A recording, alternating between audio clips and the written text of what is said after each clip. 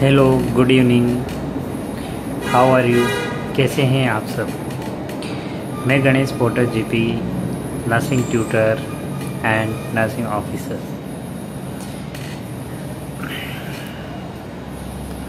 Bhagavad Gita में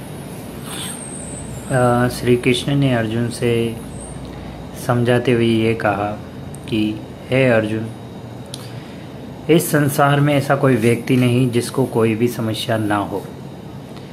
और ऐसी कोई समस्या ही नहीं बनी जिसका कोई समाधान ना हो।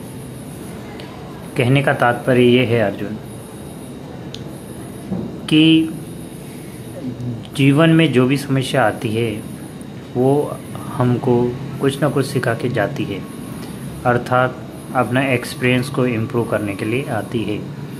अपने दृढ़ निश्चय को बढ़ाने के लिए आती है। लाइफ में समस्या आएगी भी सही और जाएगी भी सही। तो अपने काम को बढ़ाएँ और समस्याओं से घबराएँ नहीं कंटिन्यू मेहनत करते रहें।